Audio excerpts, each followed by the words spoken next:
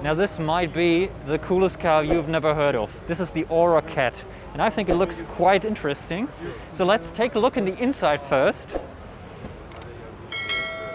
Because the inside is really surprising. So this car, depending on how you spec it, should cost around 30,000 euros.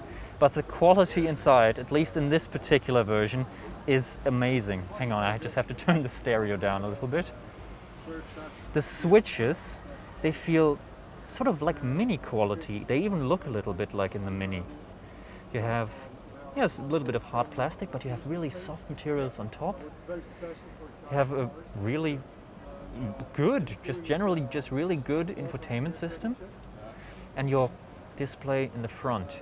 So we can see that a lot of stuff that we used to think of cheap cars in the past has really changed. Technology had, has advanced and actually made cheap cars high quality.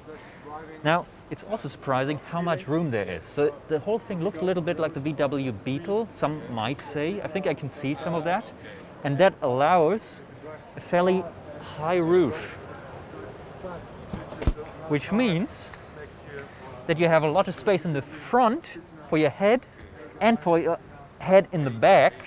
And it also has a really nice long wheelbase which actually is due to the electric platform. Obviously, you have your batteries in the floor and you can stretch that out. You don't really need space for an engine, so you can design the car in an interesting way and allow for a lot of space on the inside. I think we still have to look on the exterior design a little bit more because I'm not sure we've really fully seen that. It's really kind of unique in many ways, so it has a lot of features from cars of the past. I already mentioned VW Beetle, maybe a little bit of Porsche, maybe a little bit of Mini. Now you have this very unusual rear design. As you can see, there's no, no lights here. Very clean.